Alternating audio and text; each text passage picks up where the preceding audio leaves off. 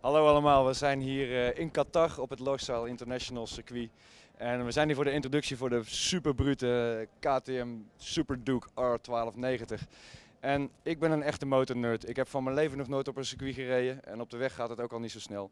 Maar dankzij deze man, Jeremy McWilliams, heb ik mijn eerste touchdowns gehad. So Jeremy, if you can really explain, because I forgot it was such an it was zo'n intense dag. Can you explain what people should do if they would ever go on a trek just like me for the first time?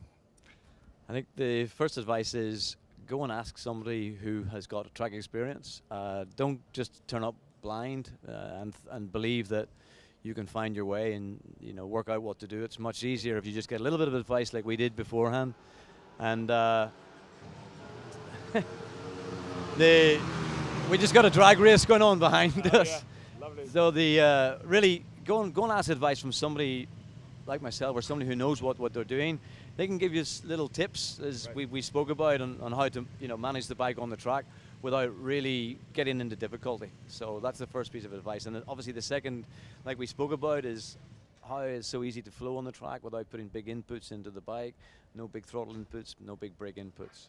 So keep the throttle very low in the corners. Yeah, you know, I suppose we're misunderstood sometimes. Uh, a lot of people think that we ride into the corner and then accelerate through, which is completely not what we do. We we, we ride and, and carry momentum into the corner, and then we use very very little throttle to maintain that. You know, uh, that's why it's called maintenance throttle, and we maintain that with as little as five percent throttle in most corners until we see the exit.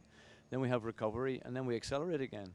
And we get to the next corner one thing that we see quite often is that, that riders brake quite heavily, which means that they have to accelerate into the corner. We carry the momentum into the corner. So little braking, little throttle inputs, really smooth, and you become a track rider like you did. Thank you very much. So one last tip for the people who have never had this before, because I was very afraid to lean over that bad, but you told me and it worked. So. Well, we, you know, we, we know that we, we can trust this bike and the tires. We have a really good setup for the track. It is set up for, for track use. We're using road tires, but they work very well on the Losail circuit.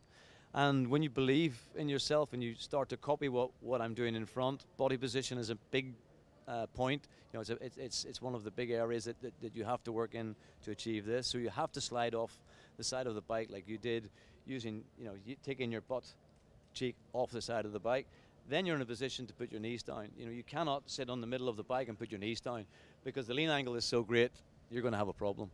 So once once you put all of that together, it's it's kind of simple. You know, it's not it's not so difficult. Man, at least you gave me uh, an experience of a lifetime. This is uh, bloody awesome. Uh, I'm coming home very happy. So thank you very much, man. Oké okay guys, ja, dit was hem. Dit zijn de tips van de Melster. Uh, als je ooit gaat trekken vertrouw deze bak maar want het gaat wel lekker. Nonder Ju, wat een fucking monster. Sorry, excusez le but I love it. It's beautiful.